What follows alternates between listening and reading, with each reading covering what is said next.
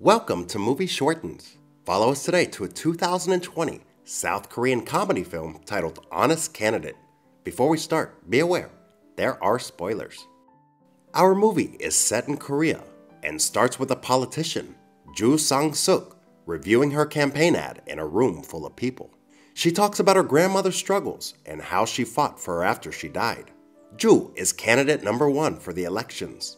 She has been elected three times and she's now running for her fourth term. We meet Ju's aide, Mr. Pak, who helps Ju to fit in and relate to the people she meets and greets as they walk around the city meeting potential voters. He's very helpful throughout the movie. He remembers people's problems and the promises that Ju made to help them. We also find out that Ju's running against candidates Nam and Shin.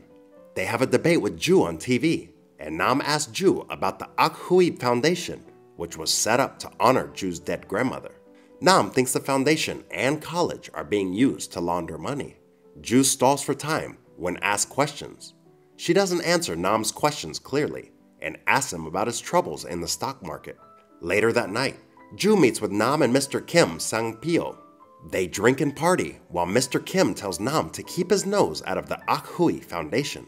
Nam is upset because he was questioned about his money problems. So, to apologize, Ju tells Nam and Mr. Kim about a company that will earn them lots of money.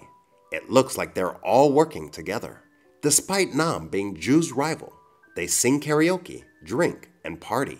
As the party continues, we see a hidden camera watching them. Soon after, Mr. Park chases a reporter, Huang, who was given the camera footage, but Huang escapes in a red car. Mr. Park remembers the license plate number and tells Ju, who asks Mr. Kim to take care of the situation. Sometime later, Huang accidentally crashes into a car in his parking lot. It's no accident though. The driver of the other car works for Mr. Kim and offers a BMW as a bribe for the camera footage and the red car. Soon after, Mr. Kim arrives at a speech and tells Ju that he's exchanged the camera footage for a BMW. Ju, of course, had to pay for the BMW to keep her secret safe. That night, we meet Ju's husband, Bong, who pretends that he plays badminton and exercises so Ju can get more votes. We also meet Ju's grandmother, Kim Ok Hee, who's quite funny. She calls Ju in the middle of a stormy night, and we see that Ju's grandmother is obviously not dead like Ju has said throughout her campaigns. Ju was just looking for sympathy votes by saying Kim died. A mistake and rumor Ju started after she misunderstood Kim when she said she wants to go back to nature.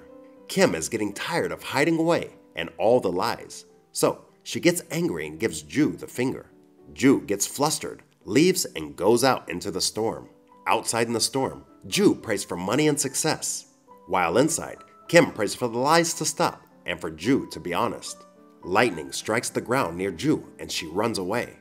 We guess that someone's wish has come true, and the next day, Ju knows something is wrong after she can't lie to her husband, Bong. In the next scene, we see another reporter, Mr. Jung, getting ready to interview Ju. Mr. Pak annoys Mr. Jung and asks him to stick to the script that's been prepared.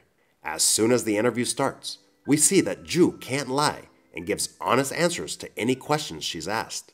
She gives some funny answers as Bong and Mr. Pak try to stop her from saying too much. Later, in a car, Ju and Bong argue, and Ju says that she can't lie for some reason. Things get tense as Ju tells Bang how she really feels about him being unemployed, and then he runs away screaming. Soon after, we see Ju in a bookstore. She nervously signs a copy of her autobiography as the press takes photos. At the press conference, Mr. Pak tries to stop Ju from talking, but she has a breakdown and admits she didn't write the book. Later, Mr. Park asks Ju if she was really going to buy him a new car like she promised, but is upset to hear Ju honestly answer a used car. Back at the apartments, a reporter, Kim Jun Young, takes Ju's mail. He hides when she turns up, and Ju and Mr. Pak go upstairs while the reporter puts the mail back. Just after, Mr. Pak sees the mail is back and knows something is wrong. He chases after Kim Jun and sees his face when he checks his dash cam. Inside her apartment, Ju continues to argue with Bang and we see her mother in law has come to check on her. It turns out Ju really doesn't like Bong's mother, who she calls the hag in law. Bong's mother asks Ju to talk honestly, but soon leaves after Ju tells her how she really feels. Sometime later, Mr. Pak takes Ju to see a doctor, and there's a funny scene when Ju has acupuncture treatments while Mr. Pak tries to get her to tell simple lies. We're later introduced to Mr. Lee, a retired politician hired to help Ju in her campaign. He knows that Ju can't lie, so he starts networking, running a smear campaign against Nam, and tries to help Ju get more votes.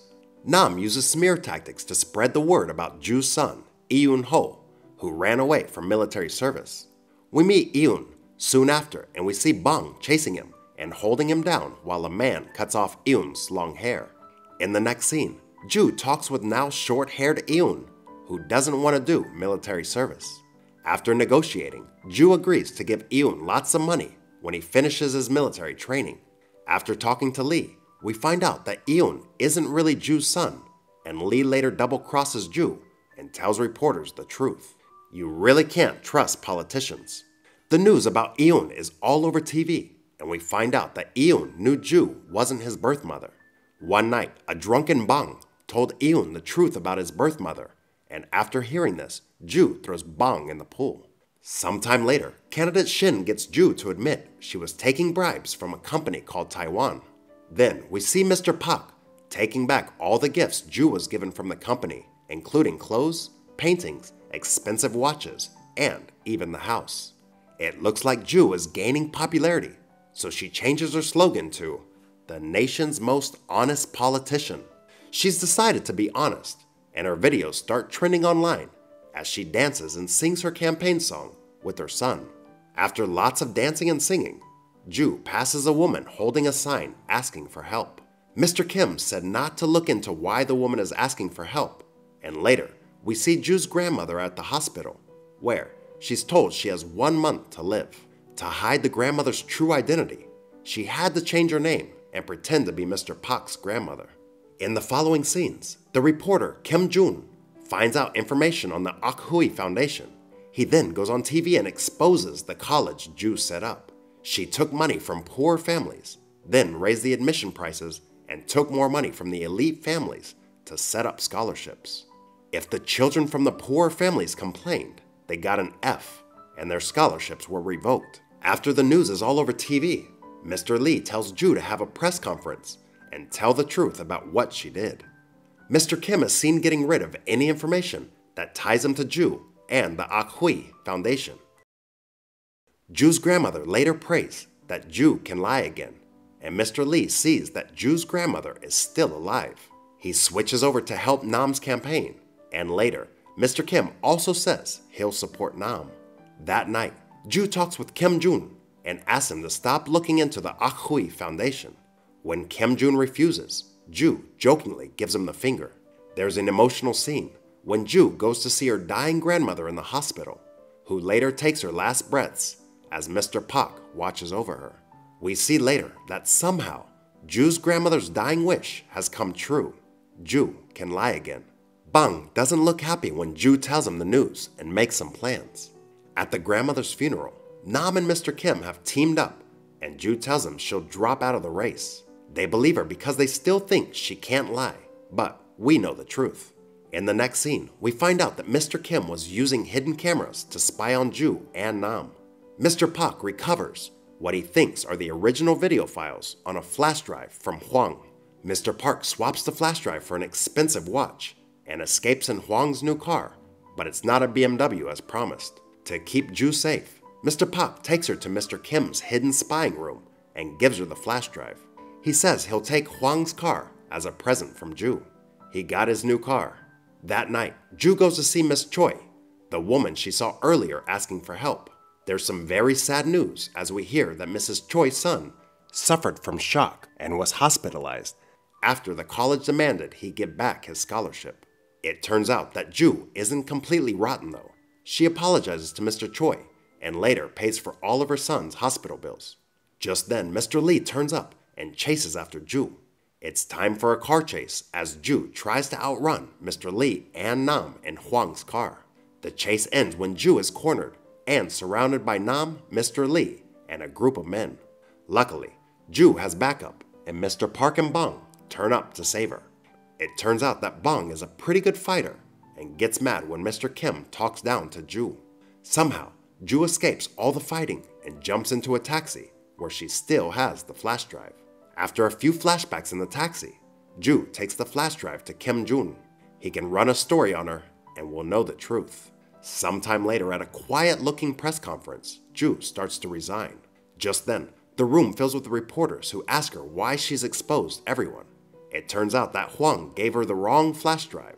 This one had lots of videos of politicians and people in power behaving badly. There's some creepy behavior, drinking, and rude acts. And Mr. Kim is seen gambling and talking badly about people. After all the videos and scandals, we find out that candidate Shin beat Ju in the elections. Also, Mr. Kim was found to be in charge of the ah Akhui Foundation, and Ju has to go to jail because of her lies and problems before. The movie comes to an end sometime later as Ju is released from prison. The movie is coming to an end as Ju sternly tells Bang and Eun to get their acts together as she leaves them both looking shocked at the table.